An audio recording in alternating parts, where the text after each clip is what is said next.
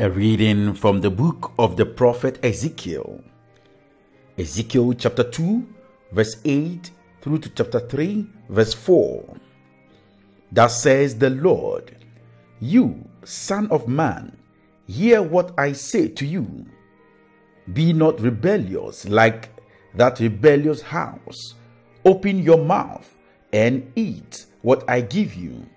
And when I looked, behold, a hand was stretched out to me, and behold, a written scroll was in it, and he spread it before me, and it had writing on the front and on the back, and there were written on it words of lamentation and mourning and woe. And he said to me, Son of man, eat what is offered to you Eat the scroll and go. Speak to the house of Israel. So I opened my mouth, and he gave me the scroll to eat.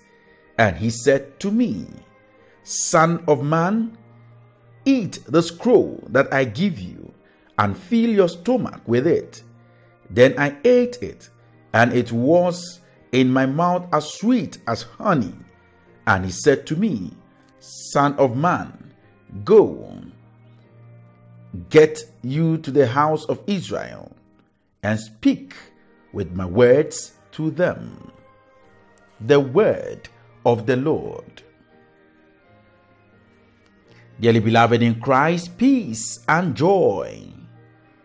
We thank God once again for the gift of our precious lives and for the gift of a new day. Tuesday, 14th August 2018. For in him we live, we move, and have our being. Praised be his holy name, now and forever.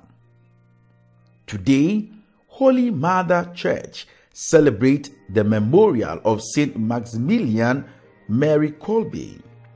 Saint Maximilian Mary Kolbe was born in Poland on 8 January 1894 to Julius and Maria Kolbe. He was baptized Raymond. He entered the order of Friars Minor Conventuals. He was ordained priest in 1918 in Rome.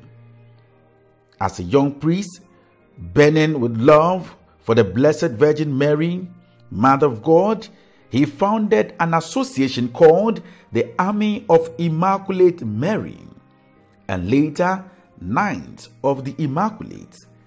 Under the protection and patronage of the Immaculate Virgin, he set up printing presses and founded a community to carry on this work of evangelization through the printed word in the year 1930 as a missionary to Japan. He returned to Poland in the year 1936 and became the director of the Poland's chief Catholic publishing complex, thus incurring the wrath of the Gestapo in 1939.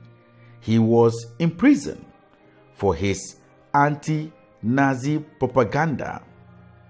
He was released and rearrested in February 1941 for aiding Jewish refugees during World War II and deported. On July 24, 1941, one of the prisoners in the concentration camp escaped. As a result, in keeping with the practice followed there, 10 men were selected at random to die out of starvation in an empty bunker. Among those selected was Franciszek, a father of nine. He wailed, No, God, not me, please. What will become of my poor wife and children? Thus deeply moved Father Maximilian Kolbe, making him step out. He came out of the ranks and standing before the commander, pointed to the sergeant and said, I am a Catholic priest from Poland. I am old. I want to take his place because he has a wife and children. Father Maximilian Kolbe continued to be the source of strength and comfort for his fellow condemned prisoners, diligently preparing them to meet their end, praying and singing praises to the Lord instead of weeping in despair. On the day Father Kolbe died, after all the condemned had died, he was injected with carbolic acid. After his remains were found to be in a state of illumination in a dark cell before being cremated. He was beatified by Pope Paul VI on 17 October 1971 and canonized Pope by Pope John Paul II on 10 October 1982. Dear friends, in our text today, we read about the call and commissioning of the prophet Ezekiel. The prophet Ezekiel, the son of Buzi, was given a vision of the glory of God's presence in yesterday's text, and today he is called, chosen, and sent with a specific mandate. The mandate was for him to go to the house of Israel and speak the word of God to them as a sign that whatever he was being sent to go and say was not his, the Almighty God asked Ezekiel to eat the scroll that was being offered him and to fill his stomach with the scroll. According to Ezekiel, when he ate the scroll, it was sweet as honey in his mouth. The truth is that the word of God is sweet. It is very sweet and nice to eat. It sweetens our lives and gives us some pleasure. The word of God, whether it is of lamentation, mourning, or woe, is always sweet and consoling. The Word of God truly gives us joy and happiness. This joy and happiness we are not to keep for ourselves, but share to others who desire to love the Lord God and follow Him. For this reason, if we are filled with the Word of God, then our speech must be that of sweetness.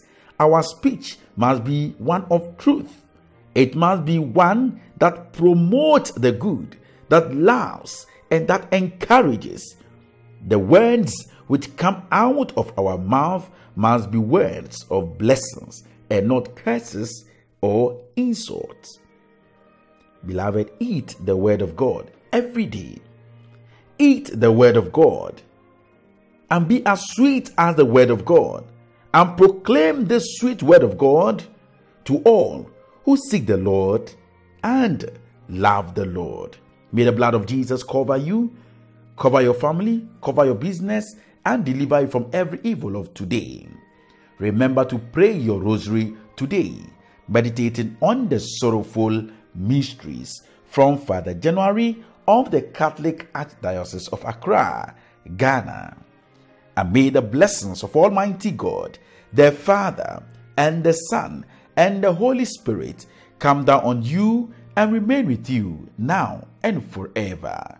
Beloved, stay blessed, peace, and joy.